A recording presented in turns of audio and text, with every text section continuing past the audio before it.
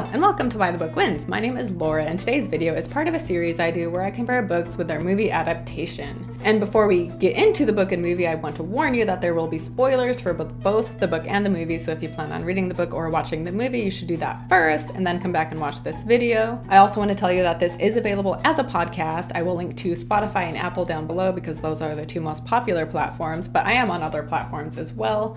So these tend to be about 30 minutes, but especially if they're longer and it works better for you to listen to it, that is available. And I also want to say that even though my podcast is called Why the Book Wins, I do love movies as well, and there are times where the movie wins when comparing book versus movie. So it is not always the book, because I do love movies, and oftentimes, you know, before I even started this podcast, the reason I would read a book was because I liked the movie, and so I wanted to read the book for it. And so I love both, essentially, and I think I give a fair, you know, view of both book and movie, despite my name being Why the Book Wins. anyway, thank you for clicking on this video. I hope you enjoy it. And yeah, let's get right into the book first movie.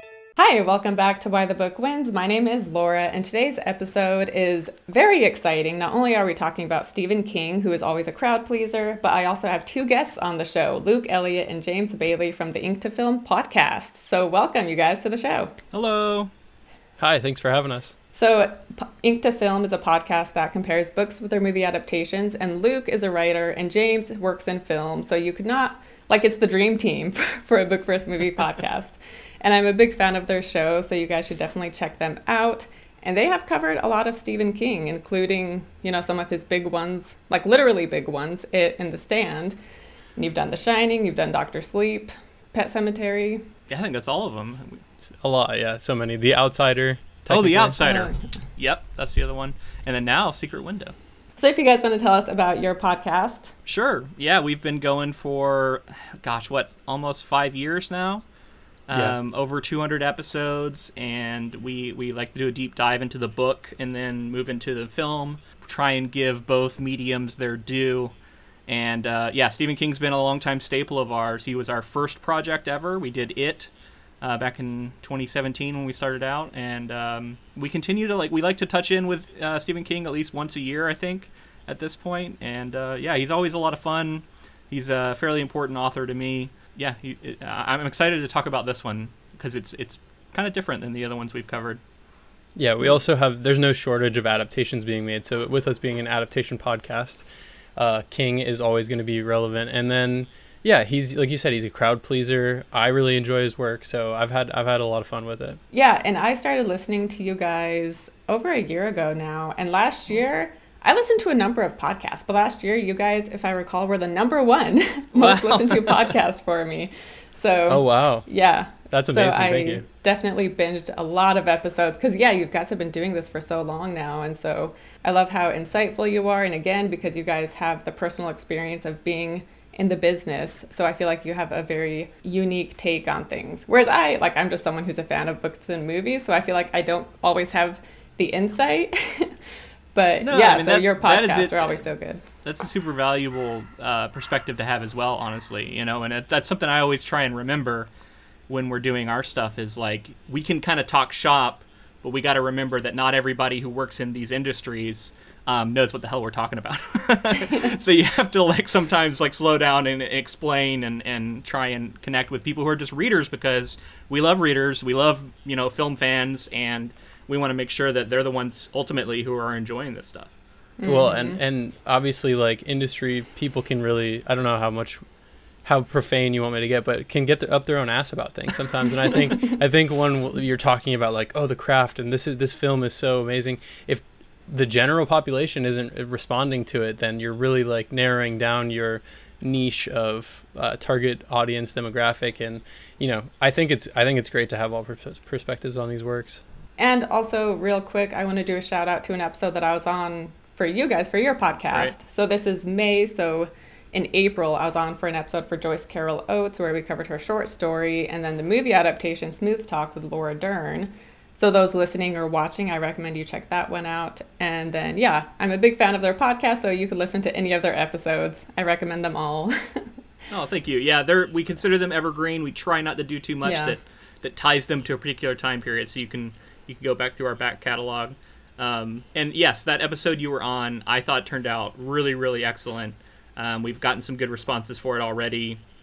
Nice. And uh, yeah, it's it's a cool one. You know, it's not a super well known movie, but a lot of people know know Joyce Carol Oates, and it was fun talking about her, and we got to get into some heavy topics, but I think it was a really good Mm. discussion. Yeah, I actually listened to it this morning and I enjoyed listening back to it. Yeah. Yeah, so the book Secret Window, Secret Garden by Stephen King, published in 1990 from the story collection Four Past Midnight. And then the movie Secret Window, directed by David Koepp, released in 2004. I'm excited to talk about this project too, though, because like we went, King really is like our bread and butter. I feel like, Mm-hmm. and getting to read Stephen King, I was like that familiar, that familiar prose was Yeah. was there, and and getting You know like, you're reading it immediately. right away. And I mean, like talking about Maine and authors and all. The, and I'm like, Oh. okay, we're reading Stephen King. Yeah. Yeah, I've read, I don't know, probably less than 10 Stephen King books, but I already consider myself a fan because I haven't read anything of his that I've disliked. And yeah, I really enjoyed this one. And so I'm just going to do a quick summary for those who maybe are listening but don't know the story. So we have Mort Rainey, who is a writer who is recently divorced, and so his wife is staying at their house in the city, and he's staying up at their lake cabin in this lakeside town. And he's visited from a man named John Shooter, who claims that Mort has plagiarized his story that he had written prior. So Shooter is very threatening, and he's threatening Mort's life and the lives of Mort's friends. And meanwhile, Mort's personal life also continues to get messier with his wife and her new guy who she was cheating on him with. And then their house burns down while he's dealing with Shooter. And then things with Shooter continue to escalate when he kills two men. But before long, so there's a twist to this story. And then the big twist is that we find out that Shooter is Mort and Mort is Shooter. And then from there, I'm not going to talk about the endings because the book and mo- movie ending differ. So but that's the basic premise of the whole story and what the big reveal is. And so I was curious with you guys reading this story, because you said you had watched the movie. Like, did you clearly remember and did you remember this twist going into the story? I did. I don't know about you, James, but I did remember the twist. I did not remember the twist. Oh, good. Uh, I'm glad it that one of us didn't. Yeah. Yeah, it had Yeah. been long enough to where I definitely didn't remember. But there is another. I don't want to spoil anything, so I'm just gonna say there's another television show that's coming out currently that's dealing with a lot of the same kind of ideas, and uh, it's pretty popular. Uh, people, I feel like people who are watching it will know what I'm talking about, but I don't, just in case, because it's not revealed until a couple episodes in. So it was bringing the idea of this other show that I'm currently watching in with, uh, you know, a character who is fractured in that way. Okay. And at one point when you were reading the story, like, did you start to guess that Shooter wasn't a real person or did were you buying it the whole time? Oh, I, I I think I picked up pretty quickly. Like once there were some there were some pretty heavy hints, and uh, eventually I started to realize that okay, so there's something inconsistent here. I'm trying to remember exactly where it was because I know where it was in the movie, but in the book. Um, Did you I'm read the book before you watched the movie this time? Yeah. Yeah. Okay. Did you not? Did you watch the movie? No, no, I did. Oh, okay. no, I did. but I already remembered the twist, so Yeah. I was trying to figure out when you first experienced the twist. Basically. Yeah, it was in the book, and uh, it, I remember thinking that first of all, the entire time I'm I'm imagining Johnny Depp as this character. Yeah. I just couldn't get his his like mannerisms Really? out of my mind. See, I was just I was just picturing Stephen King through the, for the whole thing, even though I remembered the movie. But like reading the book, it was such a King self-insert. Like Yeah. all the details were basically Stephen King's life. Well, what's the name of his like pen name too? That he Richard Bachman, yeah. Richard in Bachman. real So he's he clearly Richard commenting Bachman, on yeah. like, what if my personality split with Bachman and King, and you know, Yeah. I loved all that like self-insert author stuff. I, I you know, it, it speaks to me as someone who writes all the time mm-hmm. and, and considers myself an author. Like, I, obviously not on the level of Stephen King, but like his life and talking about literary agents and the, the, the ins and outs of publication and how it works and like all that stuff. Um, it, uh, it's a little dated uh, for today because everything's moved online, but like totally like it, that's my life. Like I deal with this kind of stuff all the time and uh, super interesting. And uh, I, I thought it was really cool how he was able to like make all these meta commentaries about the life of an author, having all these characters in your mind, having to kind of put on a persona, and all of that, and how it can uh, sort of play out in the mind of someone who maybe feels a little bit unhinged.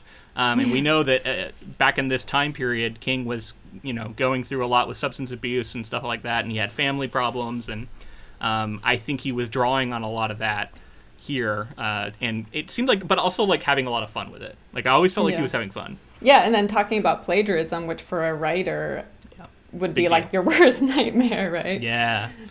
Yeah, it was it was kind of it was uncomfortable, honestly. Like the, the when we finally got the reveal Mm-hmm. in the uh, in the in the novel uh, Yeah. about how this plagiarism actually happened and how he took like a student's Yeah. a fellow student's story and published it under his own name Mm-hmm. and that was like one of the first stories he ever had published i think and just the idea of like building your your career off of this a lie, as a foundation it's like oh man yeah that would that would break your brain i think uh, over time the guilt of that And then, Luke, since you already knew the reveal, did you, like, were you still on the edge of your seat as you read this? I you know so so in general I really like the novella. Um, I it is still it might be my least favorite King book I've read, and I haven't read much more than we've covered on the podcast. I don't think maybe maybe one or two more, but it's still on the low end of the ones I've read, just because the the twist is a little parlor tricky. It's a little uh, expected to at a certain point. You kind of see it coming.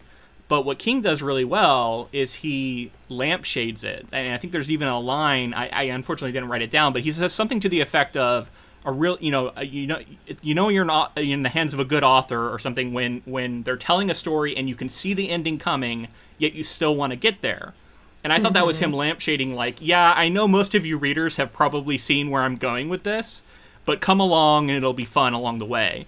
And I was like, okay, I like that he's aware of that. Like, he knows that, like, yeah, a lot of savvy readers are going to guess what's going on here, but I'm still going to write this book very seriously, have fun, but, like, he writes the hell out of the book. He, he, he puts Yeah. all of his power into it.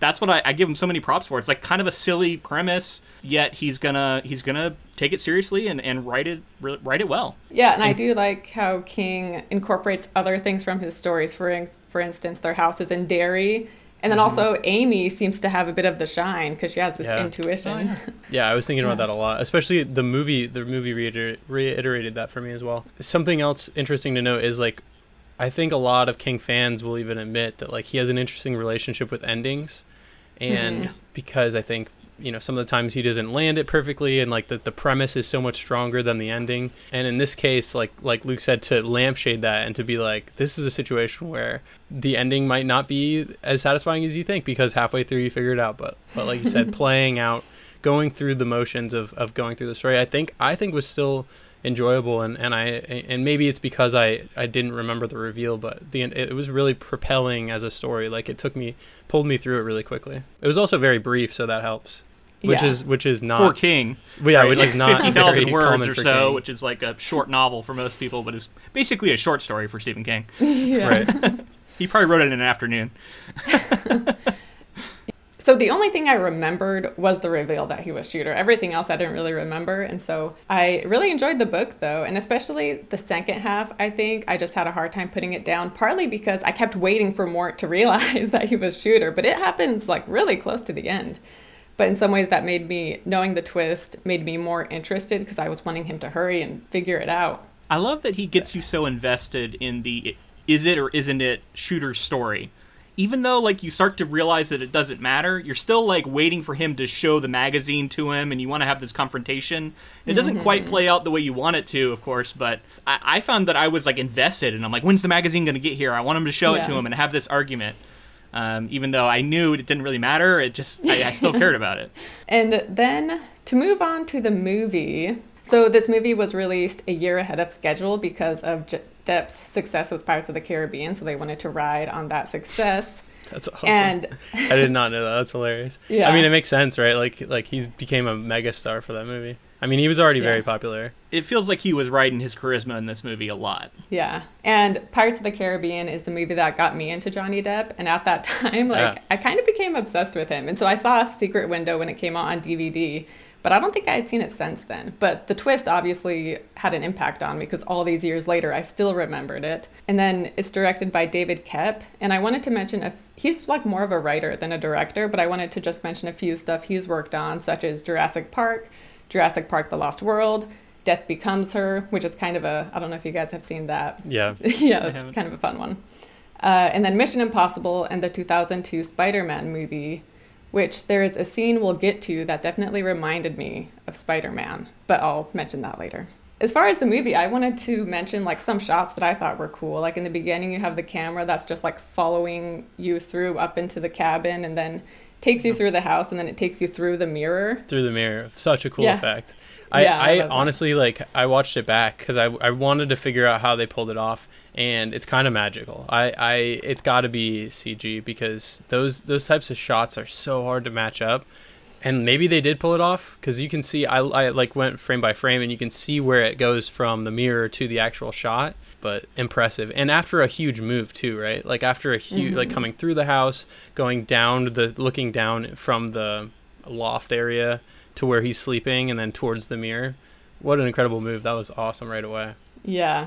And I also loved the score for this too. I thought it really set the mood. But also, another scene I wanted to mention here is when Mort is having a nightmare and he's on his couch and he looks down and it's, it's the ocean below him and he starts to fall and then he falls on the floor instead. That seemed very like Alfred Hitchcock to me. Like, if you guys have seen North by Northwest, Mm-hmm. the scene at the end, like, that's what it made me think of. And even the music in that moment, I don't know if it was on Right. purpose or if it was G- me just inserting my own memories, but I thought it was very Hitchcock esque. Did you read that? There was a note about that I, I saw when I I didn't do a lot of research for this uh, movie, but I did see something about that scene.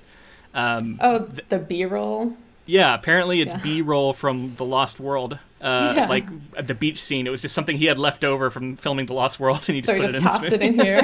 well, so Spielberg directed The Lost World, so he would have been the writer. So I guess he went to Yeah. Spielberg as a favor then, huh?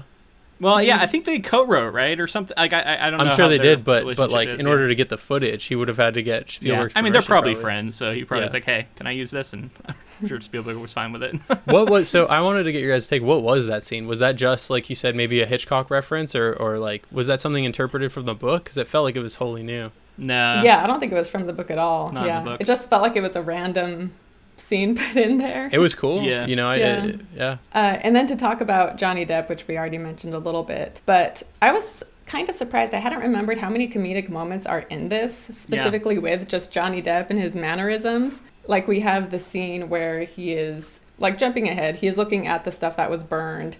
And this is from the book where he and his wife are looking at the list of items that were burned in the house. And then Ted starts to look in and he gets upset. But then the movie adds the scene where he's like getting upset and calling Ted a rubbernecker and Yeah. I'm sorry, excuse me. Do you actually intend to rubberneck? I hardly think my concern could be construed as rubberneck. Amy, he's rubbernecking. Okay. I'm not gonna freak out about this, but I. I What the hell's the point? I mean, This is our stuff. I'm just trying to Okay. be No, helpful no, and sorry, you all don't right, he's why right, would he's right. here. This is our Oh, stuff. no, he's right. He's right, Ted. Uh, would it help matters if I uh, took a walk around the block? Yes, thanks. Sure. Rubbernecker? yeah, scenes pretty like funny. that. Um, this the way that there's the like uh you postal cashier character that he mm-hmm, like mm-hmm. sort of has like a weird vibe with and then at the end of the movie the way that he he does like he goes full johnny depp and like this weird mm-hmm, because he gets to do the, the twist obviously the flipping and we get to see like how he is after this all of these events have transpired and he's like hamming it up big time but the way that he like he's got that jack sparrow like loosey goosey Yeah. kind of thing going on. So this movie, like, I, I had a I had a fun time with it, right? Like it, Johnny Depp's hamming it up. Um, you know, it's it's cool seeing something I just read come to life. Always fun. But overall, like, I I was pretty underwhelmed with the result of like I, I didn't love this movie. Um, I remember seeing it when it came out, like you said, and I and I liked it when it came out. Um, so I thought I was gonna like it more than I did this time, but I think something about the execution of the twist and the changes that were made rubbed me the wrong way. I didn't love the casting. Like I love John uh, Turturro, but I did not like him as shooter. I, I really like. I was imagining the guy who um, plays the drill sergeant in um, full metal uh, jacket Full Metal Jacket. I thought it was him. Like I, I, I had a memory. and I thought that was the guy who played him, and I was like, oh, that was a good casting. And then he it was have John been so much more Turturro. and, intimidating.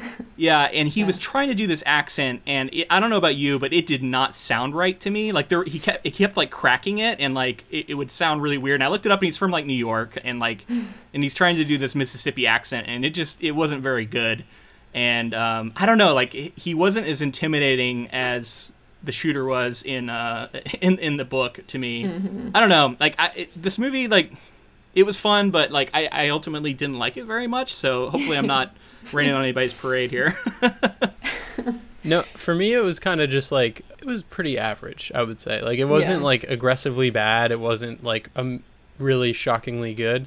Um, I think a lot of it came down to the fact that it it just felt kind of similar to other movies of the time where it's like uh, let's make like a mid-budget horror film with Johnny Depp starring, and and we'll make we'll figure it out from there. And it felt like there, yeah, there was some cool cinem- cinematography at play, but most of it was Johnny Depp performing, and I think he did a pretty good job. Uh, I I just think that there wasn't any there wasn't that special spark that I think would would have made this movie like incredible. There wasn't like the attention to detail and like a The Shining like Kubrickian detail or you know um, Yeah. you know the things that that make some of these movies really stand out. But then again, it was I had a good time with it. I enjoyed it. I wasn't like hating it. I wasn't like having to slog through it. So overall, I would just say it was I was okay with it. It was fine. Yeah, and I thought like the short story definitely, you know, isn't King's best writing either. Right. So I, you know, it's not coming from I Yeah. mean, the story was good, but I felt like they were sort of comparable. I mean, we'll get to Right. the ending, which is the biggest change, but as far as the movie, like I feel like my enjoyment level was pretty similar to my enjoyment level reading the book because I had fun with both of them. Is it like the best thriller ever? no. And yeah, it rides or it rests on Johnny Depp's shoulders, and because he's the main person, and but I love Johnny Depp. Like I feel like I'm just yeah. such a sucker for anything he's in. I feel like we have to address the fact that like this there's like a case currently going on with between him and Amber Heard like Uh, yeah. and, and it's like I still am so conflicted about all of this because I don't have enough details. I don't know what to believe, and I'm and I from what I understand, it's sounding more and more like he was abused, and that's like, but the, I- I can't tell if that's coming from his fans or if that's factual, and it's like Yeah. this weird in between period right now, and I couldn't help but think about it because he's like in the news currently, and we're watching Yeah. a movie that he's in. Um, but yeah, I hope it gets sorted out and we figure out the the truth of it all. Yeah, it just There- seems so messy and sad. I think part of my problem with this movie is the the tone that it's trying to strike because it is trying to be so sort of funny and tongue in cheek at times. Yet we're dealing with a man murdering his ex-wife and in a pr- pretty brutal sequence. He's not a especially likable person throughout and I, I don't know like it, it, it, it feels like it has a very dark ending and an attempt at a very dark ending yet it's trying to infuse it with humor which i guess if that works for you then the, the ending can land but i felt like the ending is really where it lost me um, i kind of couldn't believe they were they were going for it um, because it You know what? like, especially after reading the story it was like it ends very differently in, in stephen king's story because i think he realized that he couldn't do what they did in the film and have it still land because his tone is a little different it's not as it's not as comedic No. and, and in fact, it gets more into the like psyche of an author who is sort of losing his mind and, and caught up in. It seemed like a little bit of like fear of, of his own success and fear of his fans too, and like how that kind of gets gets uh, into everything. So I, I just felt like there was more layers to it to unpack, whereas the the movie was a lot more shallow in a way. To compare it to another adaptation by King that we've seen, I felt like the tone was a little bit more comedic than like a Pet Sematary, uh, in terms of the the adaptations themselves. I think it's part of Pet Sematary is like You're talking about reveling the, in the original or the, the, new one? original Pet Cemetery adaptation. Yeah. Uh, I think part of it is like reveling in how it's a creepy movie, and I think that this movie wanted to do like, oh, it's a creepy, weird, fun movie too. But when you have like a, a f- a husband murdering an ex-wife, like it's not as fun and spooky as like things being brought back from the dead, Yeah. animals and things like that. So, and there are there are harrowing parts of, of that movie too, like pets dying and, and how tragic and heartbreaking that can be. And there are tragic and heartbreaking parts about this story, but something about the tone felt similar to me uh, in this movie. Yeah, I haven't seen Pet Sematary. So. Um, I, I did just want to. So there's a couple things too that I think where I'm at now rubbed me the wrong way, and some of it's present in the book, but some of it I felt like was worse in the movie, and that's using mental illness as a sort of big bad in your story and as, as like kind of the monster is pretty problematic um, and for people who actually do have you know schizophrenia or different kinds of mental illness that they actually struggle with a movie like this could be pretty harmful. And i felt like king did a better job with that because of the way he sort of at the end ca- uh, you know like characterized what actually happened away from the mental illness side of it. Whereas the movie is just like yeah it's schizophrenia and this is how it played out. Um, and then after he commits the murders he seems like cured and happy and that was really weird. Like I, I didn't buy the whole thing at the end with his new persona. Um, do we want to like go down the maybe like lay out the different ways these play out for people in case they don't remember? Yeah. so to get into John Shooter, we already talked about how he was much more intimidating in the book, and then some changes with that are in the book. Mort did not contact the police, and he had this attitude of like, "I'm going to deal with this myself," and he did not want to call anyone. He called his friends actually, but he wanted to handle it himself, and he definitely made a point to reiterate that a few times. And in the movie, he does go to the sheriff though, but the sheriff is this old guy and he like didn't seem to care and he's like knitting. so that was Yeah. another scene that seemed more comedic where the sheriff is not taking him seriously. Oh, which follows the brutal murdering of a dog, which like you Yeah. know, That uh, was it's a it's a cat in the book, which is Yeah. also horrible. But like I'm a big dog lover. I have multiple dogs, so like that I was like, oh please don't, please don't, and then they did, and then. The way that that's handled, yeah, they in shrugged off, and, and, and the the sheriff's like, "Is it even a crime?" And it's like, yeah, okay, it's just your dog. he like goes inside and just locks himself inside and he's fine after that he's like i'll get you for this and then he's fine and i'm like dude i yeah. would be devastated you, can't just, yeah. you can't just brush this off And they made that dog cute too. They made sure to like give it scenes early on. yeah a lot of personality to that old dog Whenever you're watching like a thriller or a scary movie and there's a pet, like you always know like it's gonna die. Like I don't It know a sucks. movie where it doesn't. You're yeah. worried. Yeah. I don't know. There's like whole websites devoted to like, does the dog die? I think is like a website, and you can you Yeah. can find out for different movies whether or not you even want to watch it based off of that. right And then another important scene is that one of his confrontations with Shooter take place. They're out like on this back road by the lake, and a guy named Tom drives by and he waves at both of them, and they wave back. And so when Mort is calling another friend in town, I forget his name, he's like, you know, call Tom because Tom saw me with this guy, so he can tell you what he looks like. And so the guy, he gets back to Mort and he's like, you know, I talked to Tom and he was just being really weird about it. He said you were alone, but then it seemed like there was more to it. And so he and Mort decide that they're going to go talk to Tom in person the next day. Mort goes there and he, you know, they don't show up. And then he later finds them dead in their car because Shooter has killed them and he has framed Mort for their deaths. One difference, which, yeah, all of these are smaller differences, but in the movie, Mort, like, he pushes the car over the edge, whereas in the book, he doesn't do that. But I did think it was funny. The book, the movie includes two details from the book where he finds the bodies and then he looks up and he sees a squirrel that's like I couldn't Get- believe that squirrel made it into the movie. yeah uh, he has like a stare down with a squirrel and then he passes out and then when he wakes up his leg is asleep and so he's trying to like get away from shooter with his like leg dragging so i thought i liked that they included those two random details especially the squirrel and So again it specific, seemed like yeah. one of those comedic moments because Yeah. That's very specific. I, I They- don't really understand why it made it. I did want to mention that uh, the the I think the part where Tom drives by and then we get the information about you, he was alone. That I think in the book that's when I was sure that that he he was also shooter. they they make a point of him losing his watch in the car, but that's never followed up. So I guess we're just supposed to think that this is maybe how they're going to catch him eventually. Mm-hmm. I feel like this is in the day and age of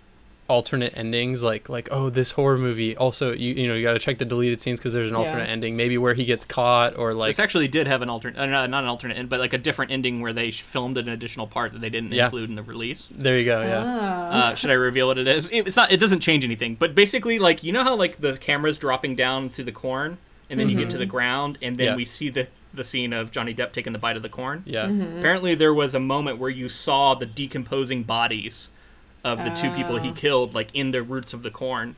But I guess they cut it out because they thought it was too dark or something. this is a pg-13 movie which is rare for a stephen king adaptation Yeah, and I'm sure that you guys saw. This was one of the only things that I saw about the movie was that the teeth that were biting that ear of corn. Did you see this? It was that was the Stephen King cameo. Oh, was it? Yeah, that was his teeth biting into the corn at the end. That's funny. yeah in the book i did like you know like king isn't very subtle as he's dropping these hints for example. So in the movie mort's story is called secret window secret garden but in the book it's switched and his, his story is called sowing season and shooters is secret window secret garden. And then he goes back to his house or he's thinking about their house and he's remembering how amy said that phrase secret window secret garden and he's like wait amy said that? Like that must just be a coincidence And then you have Shooter who says the word pilgrim, and then his agent uses that word too. And then uh, Ted, who he really dislikes, has a southern accent, as well as Shooter. So I did enjoy like all these little hints that were given that show you how he created this guy in his mind. Yeah, and and I think King is leaning on his reputation as a, an author who uses a lot of supernatural things in his stories because the guy keeps going like is something supernatural happening? And normally i would discount that but i know i'm reading a stephen king book so i'm like oh yeah maybe. Maybe this is like a you know some sort of weird monster that is like able to manipulate reality and like so i think his own reputation leads you like doesn't make you buy into the idea that he is shooter immediately because you're you're willing to grant the opportunity for some sort of some sort of creature that just uh, you know is magical Yeah, and then that leads us to the magazine, which leads to the reveal because he gets this magazine to show Shooter because the magazine was published before Shooter claims he wrote it. And he gets it in the mail and he opens it up and he sees that the story has been cut out. And he's like, Shooter got to it before me. He cut the story out. And then to focus just on the movie, as far as his split personality goes, he is thinking how Shooter did this, but then we have a voiceover of his internal di- dialogue being like, you know, how could Shooter have done this though? That doesn't make sense. And then from there we go inside and we have two Johnny Depps as like his alter ego. And I thought that was great. I thought it was a cool was way fun. to do it. I think I know where the Spider-Man reference. I was wondering Yeah. what Spider-Man reference you were talking about, and now it just clicked yeah. for me. yeah, when Willem Dafoe is talking to his alter ego in the mirror, and then Yeah. this scene reminded me of that scene so much. Which both Yeah. of them, like, I love that part in Spider Man, and Yeah, I loved it here. Yeah. yeah. I thought I thought it was awesome, and like you you got to admit, like as much as Johnny Depp was, it was the you know the movie was so focused on him, like he has the acting chops to carry this kind of role. Like he he can he can do the serious. Like when we there's the shot of him when um, his ex-wife shows up and he's like basically flipped into shooter and he's got like his his hat like covering his eyes mostly. Like Yeah. i'm like damn johnny depp is he's like believable as this like crazy killer now. And um I, I feel like he also can carry the more delicate moments and he can he can split switch between characters pretty quickly and like hmm. the believability and like even the physicality of how he's like speaking confidence Yeah. changes and stuff so I, I thought he did pretty good here and like he's the that's one of those a- actor things that like you you can't discount when you think about like putting a movie on someone's shoulders like johnny depp Yeah. can, can carry it Yeah. I know Luke said he didn't find Mort very likable, but again, it could be because I'm a Johnny Depp fan. But I did think he created a likable, sympathetic character in those beginning parts, and him having to interact with his ex and her new guy, who she found he found them sleeping together, and now he has to be around this guy, and so like I felt bad for him. But yeah, and then when he becomes this alternate personality, I was buying into that as well, and so yeah, I enjoyed all of that. I figured Luke, you would have you would have at least like related to so much of the writing stuff that he's like Mm-hmm. got writer's block and this. And I, I mean, I don't know if you Oh, yeah. had writer's block, but a lot of that kind of stuff, I was like, damn, I'm sure this is kind of real for Luke when he's watching this. He's like, fuck. Absolutely, I, and I guess like that part of it, I do really like. I just um, he has this attitude about his ex-wife that rubs me the wrong way because he he keeps referring to her as if she is property and mm-hmm. has been stolen from him by mm. Ted, and he continues to like not treat her like a human being, and instead he's like mad at Ted for being a thief. And like he just keeps referring to her as if she, he owned her in some way and it was taken from him. And like that was, was the thing i think that was bothering me. And, and every time he said that it, it i was just like this guy is is you know kind of an asshole and and then like his interactions with ted it was so clear that the movie wanted us to really hate ted and be on his side. And I guess I'm just a contrarian enough to, to feel like ah you know maybe uh, maybe Ted treats her better you know? Like like clearly uh, this guy doesn't have the best attitude. Um, but yeah you're right. All the all the writer stuff I, I liked but I do think that came across better in the in the book. Whereas in the in the movie it was like he was just kind of entitled and he to me like this is the characterization of authors that so many people have. If they meet you like they assume you're rich. Like i don't know like i feel like people have seen too many stephen king you know movies where the author is living in a mansion and they just think that like as soon as you publish a book you know you're you're living in a mansion. And it's like that is not how the industry works. That is so rare for authors to be that level of success. So I, I don't know, like, and and he he just was acting more like like an entitled movie star might act than hmm. how most authors I know in real life are just nowhere near like this entitled. So maybe maybe some of that. yeah. With Amy, though, one thing from the book that I liked was when he's thinking about Ted and he's like wondering about their relationship, basically. But I liked the way he thought of Amy at certain mo- points because he was like, you know, she and Ted must be serious and he must treat her well because she wouldn't be with like some loser and whatever. I should have highlighted it. But so I like that part in the book where he yeah. it shows like he respects Amy and he knows that she's not like some idiot who's just gonna get swept off her feet by some loser or something. Yeah, he, they have a really good conversation on the phone in the in the book that I actually thought was like a really touching moment for a story that is you know pretty silly on its own if you look at the premise, but yet he has this in-depth character conversation between these mm-hmm. these two people on the phone where they they trade blows and he says something about like you know we we and you know we should be done hurting each other because we've we've we've done it enough now and like it, it's so true to life and like uh, and it really it's just a shitty situation all around like nobody's coming out clean everybody's made mistakes and um, I just felt like that was handled better in the book, whereas in, in the movie it was like, yeah, he's made mistakes, but we're on Team Johnny Depp because he's charismatic and makes make cracks jokes, and Ted's terrible. So when he dies at the end, we're supposed to be happy. I think, like, I don't know, it was really weird. Like, I don't know that he deserved to die. Um, yeah, and so yeah, when Johnny Depp or when Mort becomes shooter, and then his wife drives up drives up because she needs him to sign the papers, and then they have this chase, and yeah, when Ted comes in because he had followed Amy. And then he kills Ted, and then he kills Amy. And I was so shocked because that is not what happens in the book. Everything else up to that point plays out the same way, like the Yeah. stabbing through the leg and Yeah. like chasing her around the house. Like that's all right out of the book. I was just so shocked. I did not see that coming at all. But did what do you guys think about the movie? How it kind of incorporates the ending from you know sowing season or secret window, whatever the short story is called. The movie Secret Window becomes the ending from that short story. Did you like that they incorporated that sort of? Well, so I thought it was really funny because, as I talked about, King has an interesting relationship with endings. And then this, like, Johnny Depp was talking about endings a lot at the end of this movie, like his character mm-hmm. was. And the way that the filmmakers were like, this is a, it's a, it's a better ending. He kept saying it's a better ending based on what Shooter was saying. And, like, I was like, are the filmmakers saying they're writing a better ending than King? Are they, like, what's this relationship with endings that, the, that they're having here? And then to have it end as, like you said, the, the actual published work within this fictional universe was the ending. I don't know. It's, it's, it's kind of like meta in a way. Yeah. But yeah, I, I, I think I prefer King's ending still. But you know, fun to play with it when you're when you're adapting someone's work and have it still technically it's still like pretty true to his original work because it's an ending that he wrote within a fictional mm-hmm. universe.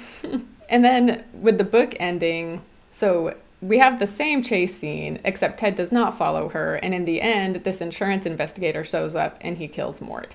And then from there, we have an afterword, which honestly, the afterword I wasn't a big fan of because it felt. I mean, when the insurance investigator is explaining why he showed up and why he thought Mort seemed fishy, it made me think of like some kind of murder mystery where at the end the detective reveals how he put it all mm-hmm. together. yeah. and Poirot. yeah, exactly. It was kind of handholdy, right? Like it was trying to. Yeah. Like he he understood way too much about what was going on in the mind of, I, I guess, the Stephen King insert character. like he, Mm-hmm. he was privy to a lot of things that he wouldn't have no idea about. Yeah. And then we talk about returning back to the guy Tom in the book. Amy says, you know, Tom had told someone else that when he drove by, he saw Mort by himself, but then he looked in the rear view mirror and he was with like a ghostly looking person. Right. And then Amy says that when she was cleaning out the cabin, she found a note with the hat saying like uh like Mrs. I'm sorry for everything I've caused and I've got my story now, so I'll be going. And the note I was like what is who even wrote the note? Like I I just didn't like the afterword basically. The I thought it was manifestation of Shooter. like so was uh, it yeah. an actual ghost or did his yeah. So Stephen King's ending also has problems. Um, in a different way, but yeah, i Stephen King. I feel like he realized that that he didn't want to go with the very expected. Oh, he was just out of his mind, and this was a like you know a multiple personality situation. and that's the explanation. He was like, I got to put something a little more Stephen King in there. I got to make it a little more supernatural. So he instead had this idea of like a manifested character that you know he just thought about so hard that he came into existence, and that character, I guess, infiltrated his mind and became like a multiple personality situation. Yeah. And then the idea is that even after he died, this character was still able to write this note, you know, I guess leave because it was it was kind of a ghost, kind of a there's like a was it a tulpa? There's this idea of like a of a supernatural being that if enough people believe in it, it becomes real. And I hmm. think he was playing with the idea of a tulpa here, even though it doesn't name it. Hmm.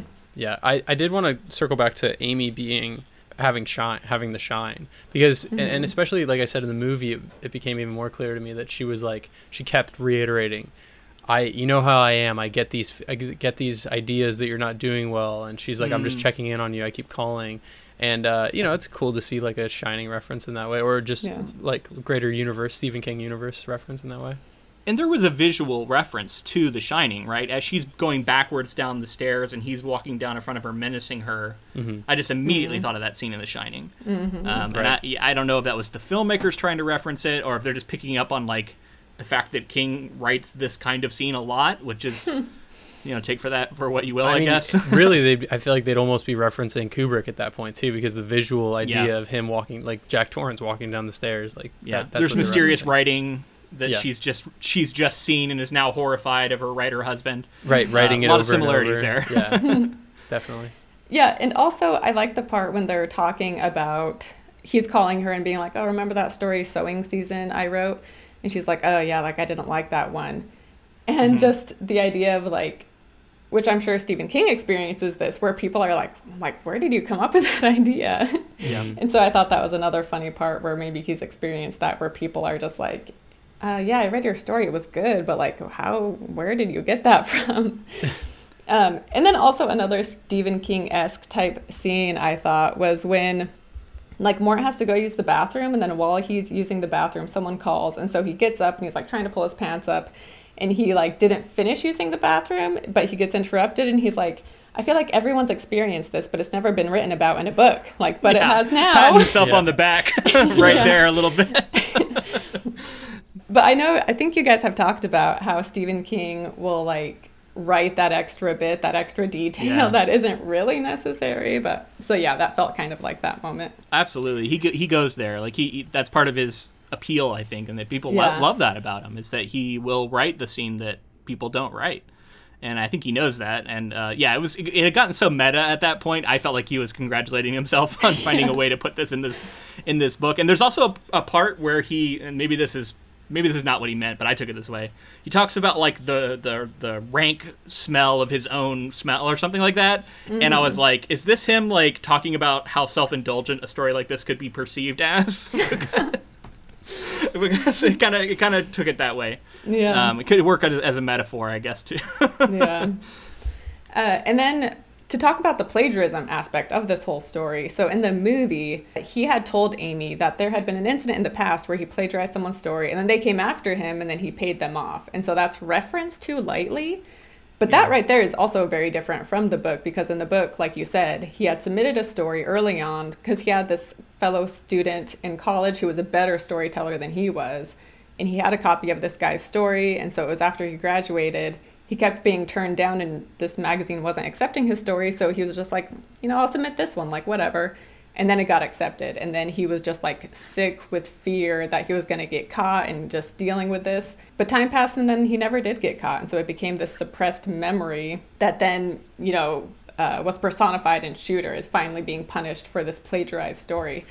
And so Yeah. I loved that part of the book and just Yeah. how that would eat away at you with that, that guilt that he felt. it deals with the psychology of guilt and of you know the, this conflict between like the character that he's imagined uh, of, of this writer and the writer that he believes he is. It just I don't know. It just plays out so much more interestingly in the novella. So if you like this movie, I do recommend you read the novella because I think it's the better version. And then and then like uh, I mean we've spoiled the hell of it, but like the at the end the wife lives and she ultimately defeats the monster, which the I think that happens in the majority of Stephen King's works. Um, he tends to have the big bad get defeated by the good characters, even though we don't realize it. It's revealed that our main character, whose point of view we're in for the entire time, is actually the big bad of the story, and we get this switch where all of a sudden we're in her point of view for the last little part of the of the story, and uh, she battles against the monster and wins. And I thought that was pretty fun how he was able to do that little switch, and then that's completely changed in the movie where she lose she just loses she just dies to her Yeah. husband, which yeah is very dark. And then they they try and play it off like a joke, and I think that was some of the ending stuff too, where he was like. Oh, this ending's so much better, isn't it? And he's like, he's mm-hmm. gotten braces and he's acting so ridiculous. I think they were really hoping it would be, just be kind of funny, and that would that would gloss over the fact that it's actually a really dark ending. Was it weird to you guys that they didn't have enough evidence to get him? Like they were the co- like what? Yeah, come on. Yeah.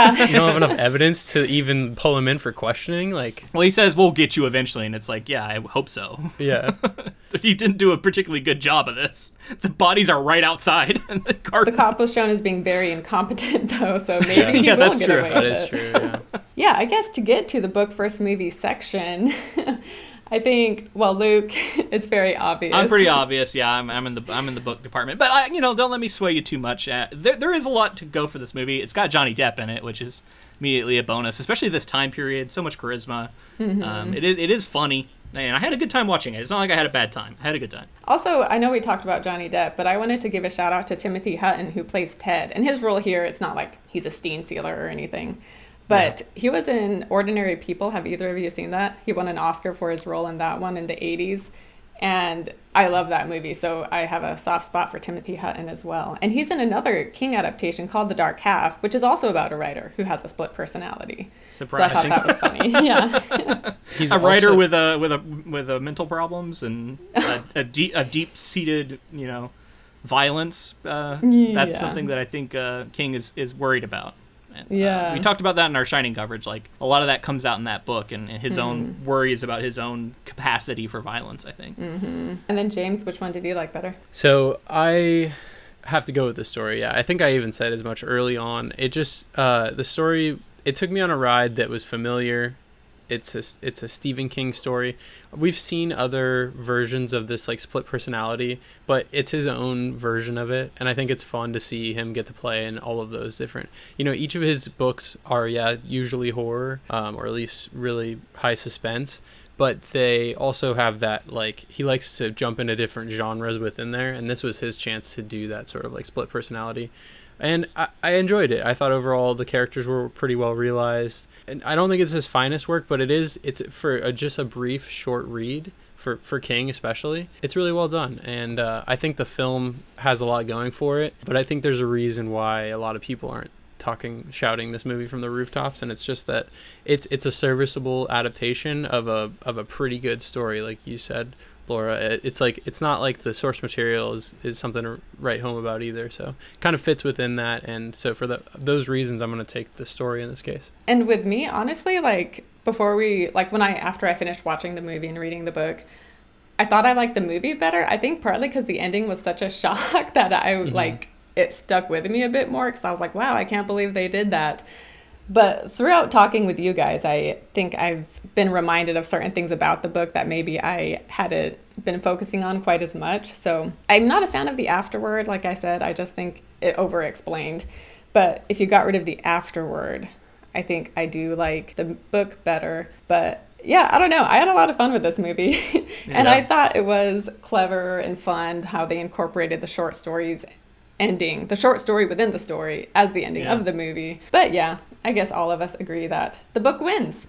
yeah Yeah. fun to revisit King you know and then Yeah. also to get Johnny to get to talk about Johnny Depp overall just a fun fun project. Yeah. project Which I know you guys have talked about Johnny Depp for Sleepy Hollow. I don't know if you've we did Oh, yeah. done any of his else, but but yeah, I covered him for What's Eating Gilbert Grape and Fear and Loathing in Las Vegas. So we're definitely Yeah, going to do. Fear and Loathing at some point I would love to hear you guys cover that because I Yeah. That's one I used to love. Semi autobiographical, right, for Hunter S. Thompson. Yeah. Mhm. I used to be a huge Hunter S. Thompson fan when I was younger and so rereading it just I don't know, it's just how I've changed through the years. But anyway, Yeah. so I'd love to hear you guys cover that. But and also speaking of your podcast, so do you guys want to let people know where else they can find you? Uh, sure. Yeah, we are on every major podcasting platform. Ink to Film. Um, that is T O, not the number two, which for some reason a lot of people think the number two is in there. We're but- like too too fast, too yeah, furious. think like- Ink to Film. No, it's just Ink to Film, um, spelled normally. Um, and then uh, we do have a YouTube channel, although our we just kind of post our videos on there with like a static image. So you know, we've done like one or two like video content, and we might do more in the future. So we'd love to have you subscribe on there and and pay attention to that um, if we do some more of that stuff like that. But yeah, you can find us on that. Oh, and on social media, we're at Ink to Film on Twitter, Instagram, and on Facebook. Um, so we'd love to have you join uh, over there and chat with us. Yeah, it's been uh, it's been a lot of fun. Yeah, and I'm also a Patreon for you guys, and I enjoy Oh, the yeah. bonus content. I listened to The Egg, was your most recent one. And so that Oh, was yeah, really Egg Aware. interesting to listen to. I love hearing conversations about, I don't know, the meaning of life, which is the whole point of that story. So I enjoyed listening to you guys talk about that one. Yeah, we love that stuff. yeah, and thank you for checking it out and supporting the, the Patreon. Yeah. yeah. So yeah, I guess that wraps it up for today's episode on Secret Window. I hope you guys enjoyed this. Don't forget to subscribe and to like this video and to check out Ink to Film and subscribe to their channel. I will link to them down below. Thanks again for joining us today, and I will see you next time. Bye. Bye.